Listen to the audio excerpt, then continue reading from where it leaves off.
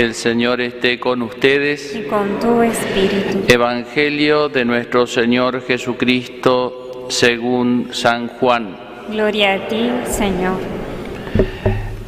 Era el día de la preparación de la Pascua. Los judíos pidieron a Pilato que hiciera quebrar las piernas de los crucificados y mandara retirar sus cuerpos para que no quedaran en la cruz durante el sábado, porque ese sábado era muy solemne. Los soldados fueron, quebraron las piernas a los dos que habían sido crucificados con Jesús. Cuando llegaron a él, al ver que ya estaba muerto, no le quebraron las piernas, sino que uno de los soldados le atravesó el costado con la lanza y enseguida brotó sangre y agua. El que vio esto lo atestigua, su testimonio es verdadero y él sabe que dice la verdad, para que también ustedes crean. Esto sucedió para que se cumpliera la escritura que dice, no le quebrarán ninguno de sus huesos. Y otro pasaje de la escritura dice, verán al que ellos mismos traspasaron. Palabra del Señor. Gloria a ti, Señor Jesús.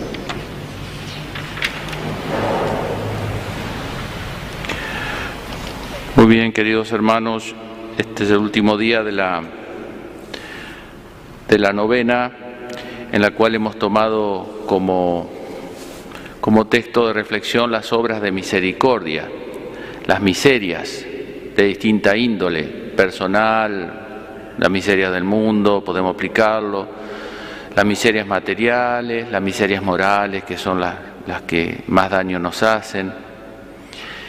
Y podemos eh, formular esta, esta tesis o esta, esta afirmación que eh, la miseria no nos, no nos hace mal, que frente a la miseria cada uno saca lo mejor o lo peor que ya estaba en su corazón. Dice Jesús, es del corazón del hombre donde provienen los males. La miseria lo que hace es golpear el corazón, pero sale lo que ya estaba. Como principio es ese. ¿Eh? Digo, hay influencias de las cosas que nos suceden fuera nuestro, pero lo que determina, lo que fecunda eso está en nuestro interior, lo que lo hace bueno, en definitiva, o malo. ¿no? Eh, me refiero a las cosas que nos toca padecer, no las cosas que son objetivamente buenas o malas. Entonces vamos a ver ahora, para terminar, tomando este cuadro que, está aquí debajo adornado y que yo tengo aquí para las personas que nos ven a través de los medios, eh, que es el cuadro de, de, este pintor Rembrandt, El regreso del hijo pródigo, porque ahí me parece que están eh, representados los tres tipos de corazones eh, y los tres tipos de actitudes fundamentales frente a la miseria. Ya digo, la miseria personal, de uno consigo mismo, con respecto al mundo, ¿no es cierto? ¿Cómo nos ubicamos? ¿Qué saca dentro de nosotros la miseria? ¿Qué saca a relucir? ¿No? Porque hay mucha miseria. Y eso que saca a relucir, que uno tiende a echar la culpa a la miseria, eso ya estaba, es como el volcán, ¿vieron? La lava sale de dentro, ¿no? Eh, bueno, tenemos aquí fundamentalmente en el cuadro pintados los tres personajes de la parábola. El padre, que es el central, padre misericordioso, el hijo menor, que es el que se va y después regresa, y el hijo mayor parado allí eh, mirando la escena con toque de enojo. Comencemos con el, con el hijo menor de la parábola. Eh, el hijo menor de la parábola es el corazón contrito. Contrito significa triturado, ¿no? Con triturado. Es lo mismo que triturado, que está despedazado, herido. ¿eh? Que la escritura habla del corazón contrito. El, el profeta David dice, tú no desprecias el corazón contrito y humillado. Corazón herido por las miserias, especialmente las miserias morales. Y un corazón que busca remedio. Entonces, este corazón del hijo menor fue, eh, pecó de ingenuidad al irse de la casa del padre, a creerse que él podía solo, se fue, tomó los bienes y los malgastó, pecó de ingenuidad. Y luego y, de, soberbia, ¿no es cierto?, de creerse autosuficiente y alejarse de la casa del Padre. Eso simboliza el pecado cuando uno, ¿no es cierto?, se lanza a las cosas creadas por Dios eh, a través de la avaricia, la lujuria, la gula, mm, todos esos pecados que uno y termina quedando herido, insaciable en su corazón. Pero se arrepiente este hijo menor y vuelve. Y ahí reza esa oración tan linda que es como una síntesis de contrición, de la contrición, Padre, pequé, le dice. Pecó ante un padre. No es el dolor solo, la herida sola, es la herida ante un padre, ¿no? Padre, pequé. Y vuelve a la casa del padre porque confía en el perdón del padre, si no, no hubiese vuelto, se hubiese quedado eh, donde estaba alejado allí. Y aquí tenemos una gran moraleja, ¿no? Que el corazón contrito y humillado Dios nunca lo desprecia. Si miramos las, eh, las apariciones a Santa, eh, a Santa Margarita María del Sagrado Corazón, luego a la de Santa Faustina, vamos a ver una cosa que llama la atención tal vez, y es que Jesús eh, reprocha más que el pecado en sí mismo, ¿no? que le duele por supuesto, pero lo que más le duele es eh, la desconfianza.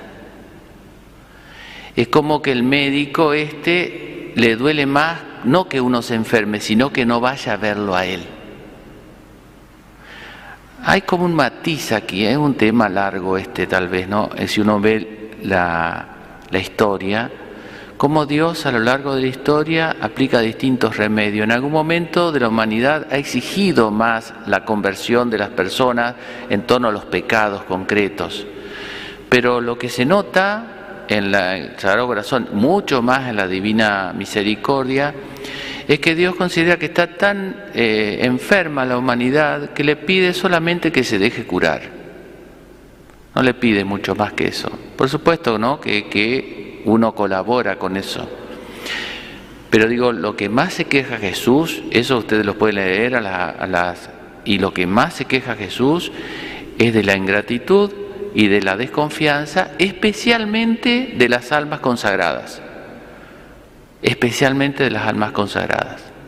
No, no, no tanto del pecado puntual, decir este pecado, este otro, sino, no sé si me explico, pero eso para entender que eh, es eh, en el mundo espiritual funciona al revés que en el mundo eh, físico, como hemos dicho. En el mundo físico lo importante es no caerse. Hay que tratar de no caerse. Si las, doñas que nos están escuchando volvieron que yo tenía a mis padres y lo cuidaba como oro, que no se vaya a caer, ya viejito, pues se quiebra la cadera, uy. Entonces lo importante es no caerse, es en el orden físico. En cambio, en el orden moral es al revés. Es más importante levantarse, porque caer no nos vamos a caer, porque somos pecadores. No digo que uno se tire de cabeza tampoco, pero caer no nos vamos a caer. Así que en el orden moral es más importante aprender a levantarse una y otra y otra vez. Y yo pienso en este hijo que la parábola lo, termina al cuadro en el regreso al padre y la fiesta, pero ¿cómo habrá seguido la vida de ese muchacho? Porque la conversión no es un, un paso, uno no sube una cima, da un salto y ya está en la cima, sino que es un camino de conversión. ¿No le habrán asaltado a este muchacho la nostalgia de las pasiones, lo que hizo allá lejos?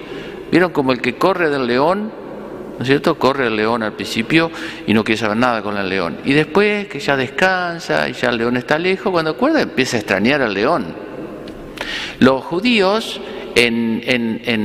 habían padecido de parte de Israel toda la esclavitud y cuando Dios los saca por el desierto, ¿qué les pasó?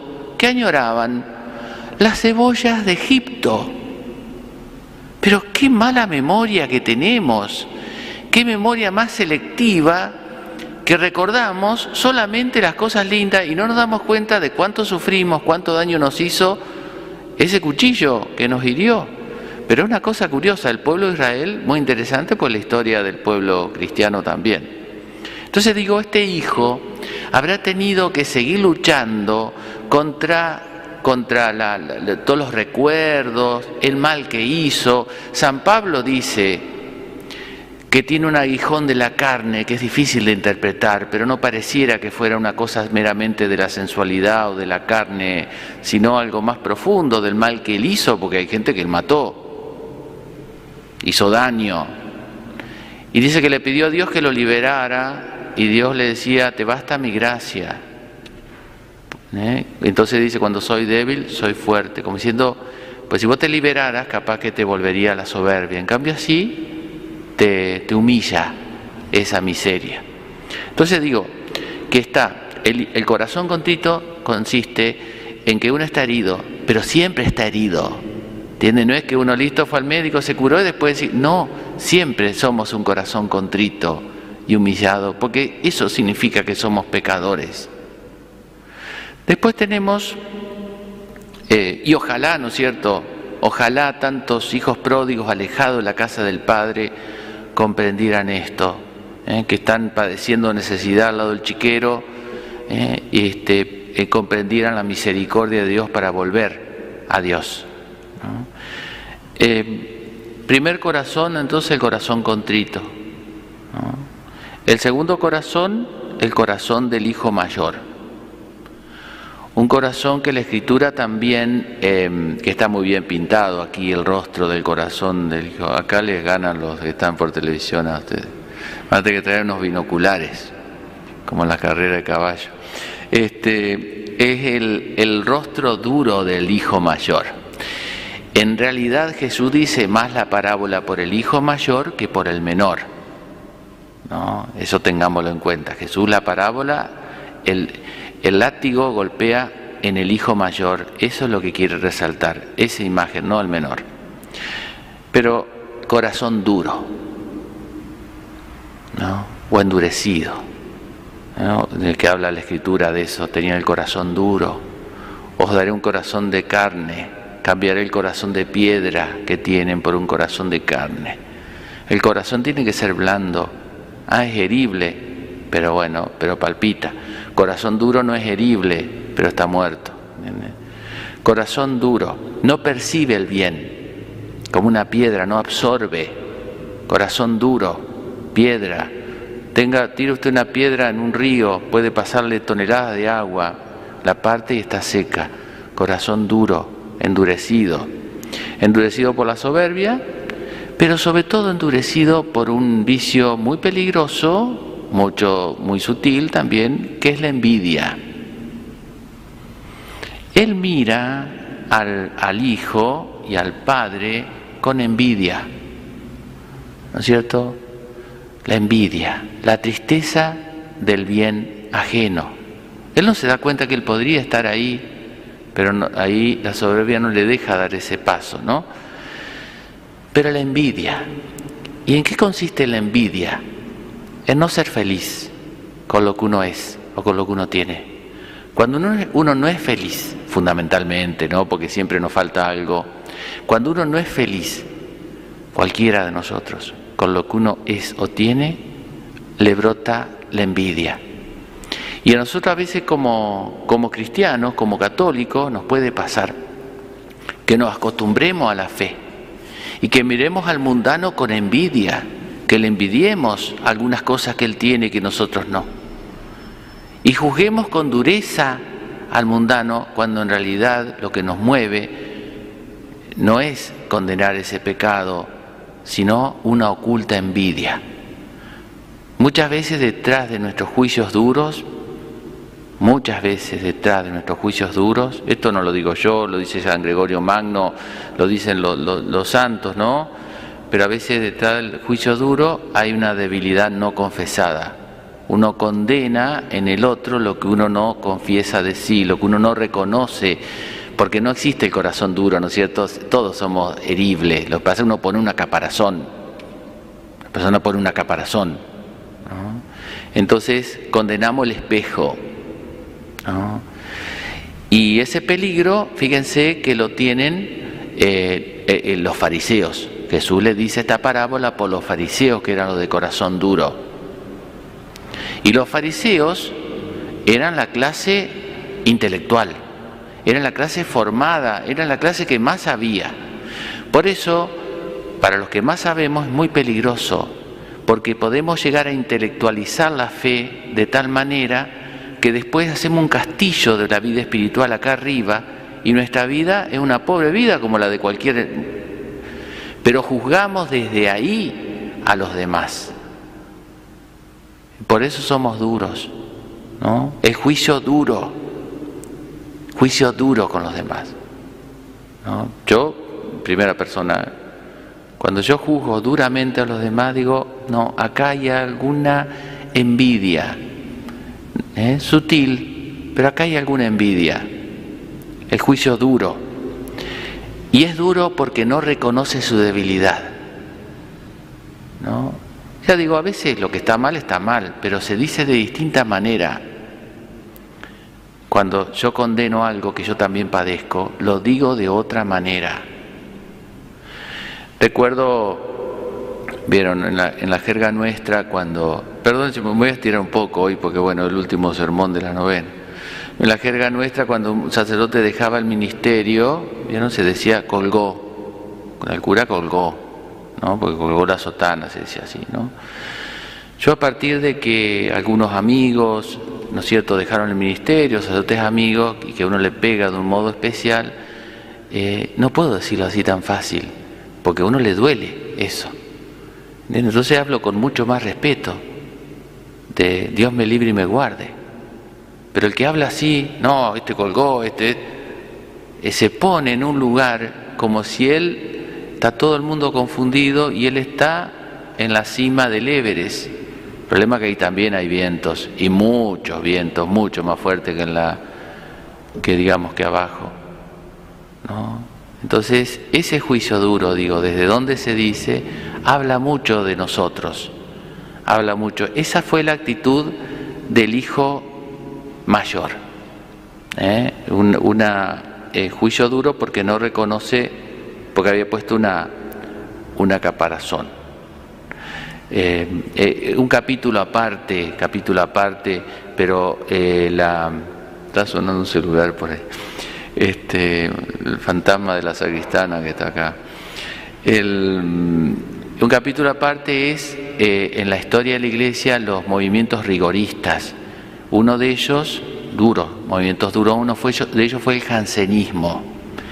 El jansenismo fue justamente un movimiento duro, rigorista, eh, en época justamente la aparición a Santa Margarita María viene a remediar ese problema y ellos lo veían a esto como una cosa media floja, sentimental, el corazón, porque eran duros.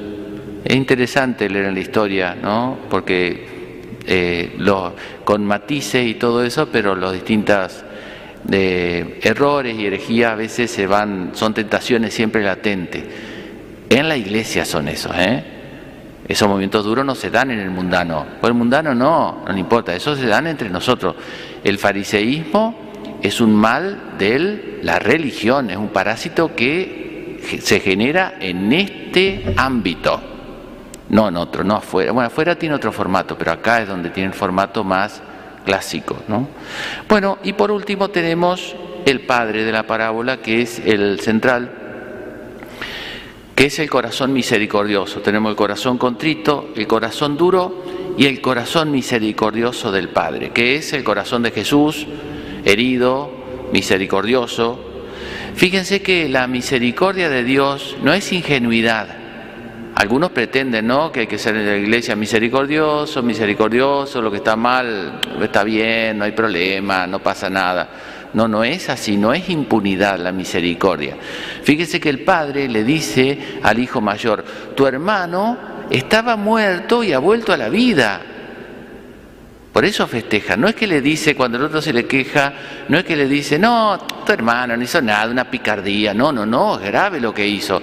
Jesús muere por nuestros pecados, paga un precio muy caro por nuestros pecados, así que nuestros pecados son graves y duelen al corazón de Dios. No es que es lo mismo pecar, no pecar, tener una vida así o así, no es lo mismo, para nada. ¿No es cierto? El Padre no es ingenuo, no es ingenuidad la misericordia, impunidad, manga ancha, no es eso. Tampoco es dureza, no, tampoco es dureza. Y tal vez la explicación de, cómo es la misericordia, lo más parecido a la misericordia de Dios, la podemos entender en las manos del Padre. De nuevo van a necesitar acá unos binoculares. En las manos del Padre, que tiene una mano de mujer, y una mano de varón, una mano más ruda y una mano más delicada. Eso el autor evidentemente habrá querido simbolizar la maternidad y la paternidad de Dios. Por eso no es duro. Una madre no es dura con su hijo, ¿no es cierto? Eh, ¿Por qué? Porque es su hijo, porque lo ama. Es muy simple. Cuando uno ama al que porta la miseria, lo trata de otra manera. No ama la miseria, pero ama al que porta la miseria. Ahora, cuando uno no, no ama al que porta la miseria, es el hijo mayor. Juzga la miseria con total dureza en abstracto, sin olvidarse, olvidándose del, recipiente que porta y que hay que salvar. Por eso las manos. Y recordaban la primera lectura, así habla el Señor, dice Oseas, cuando Israel era niño yo lo amé y de Egipto llamé a mi hijo. Yo lo atraía con lazos humanos, con ataduras de amor. Era para ellos como lo que alzan a una criatura contra sus mejillas. Mi corazón se subleva contra mí y se enciende toda mi ternura. No daré libre curso al ardor de mi ira. ¿Ven? ¿Por qué no estalla la ira de Dios? La ira nuestra, sí, vieron, nosotros enseguida buscamos que Dios castiga acá, porque es nuestra ira. Si Dios castigara el mundo, no existiría el mundo. No existiría nada, ni el demonio existiría. ¿Por qué no castiga al mundo? Porque ama, nos ama a nosotros que estamos en el mundo. ¿No es cierto? Bueno, ahí está el misterio de la misericordia del Padre que se alegra por el regreso del Hijo. Yo soy el hijo menor. Nosotros somos el hijo menor. Cada vez que nos alejamos de Dios, cada vez que pecamos, cada vez que la miseria nos hace caer, cada vez que nos levantamos y volvemos a Dios. Yo soy el hijo mayor, nosotros somos el hijo mayor, cada vez que nos volvemos duros con nuestros hermanos y que juzgamos duramente las actitudes de los demás en lugar de, alegrarnos o de ayudarnos, ¿no es cierto? Yo soy el padre también de la parábola. Ustedes también, a eso estamos llamados. Yo antes pensaba cuando veía este cuadro que este era el fin, decir, bueno, yo como hijo menor volver a las manos del padre, o como hijo mayor convertirme. Pero después me di cuenta que no, que el proceso de conversión no termina en el regreso del hijo menor, ni en la conversión del hijo mayor, que no sé cómo habrá seguido la historia, sino que el hijo menor y el hijo mayor están llamados, y nosotros, a ser el padre de la parábola, el padre misericordioso de la parábola. ¿Y cómo nos convertimos en el padre? Y haciendo obras, obras de misericordia, con nuestras obras, más que con nuestros conocimientos, con nuestras obras, haciendo obras de misericordia por los demás y dándonos cuenta de todas las obras de misericordia que hacen los demás con nosotros, especialmente que hace Dios con nosotros. Que la Virgen nos conceda esa gracia.